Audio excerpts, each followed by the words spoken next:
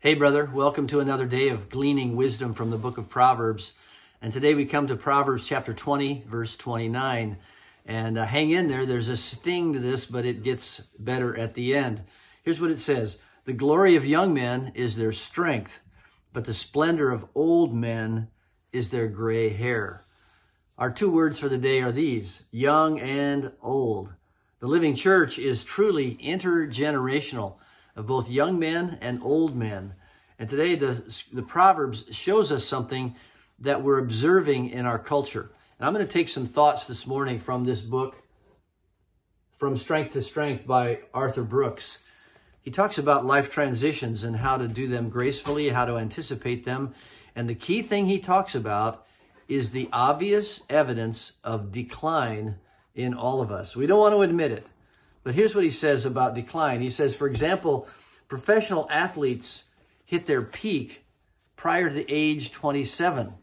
He says knowledge workers, people who depend on fresh information, hit their peak in their 40s. He says uh, prize winning scientific discoveries have all been done by men and women in their early to late 30s. Uh, he says the probability of producing a major innovation at age 70 is about zero.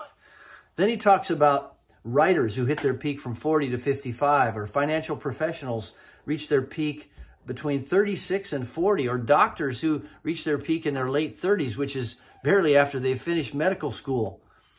Entrepreneurs, those who have founded billion dollar companies, are usually between 20 and age 34.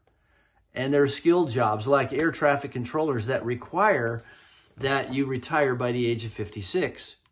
Well, this is called fluid intelligence. This is the kind of intelligence that you're born with. This is an IQ. This is the, the things that make you smart and capable. But he says there's good news here because even though we start to decline, maybe in our mid 30s or early 40s, maybe as late as 50, there's another curve that begins.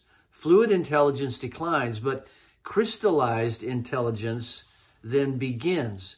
And this crystallized intelligence is what the Bible would call wisdom.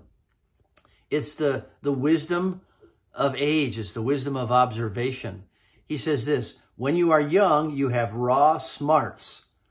When you're old, you have wisdom. Or at least if we cultivate that wisdom, we have that kind of wisdom. And so God wants us to grow in this wisdom and learn to use it. This isn't to say that just because we're older, we have more wisdom or and we should impose that on others. It does mean, however, that we can cultivate a kind of intelligence that comes from experience. It comes from sorting through information. It comes through the, the pain and the recovery. It comes through the, the grace and the humility of seeing lessons in life. So both the young and the old the intergenerational scope of the church is a wonder.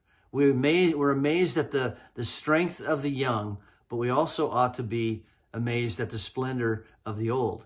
So may God grant us grace today to see where we are in the spectrum and to grow, no matter whether that's your fluid intelligence or your crystallized intelligence. God wants us to grow and to use it, to give it away for His glory and for the good of others. God bless you.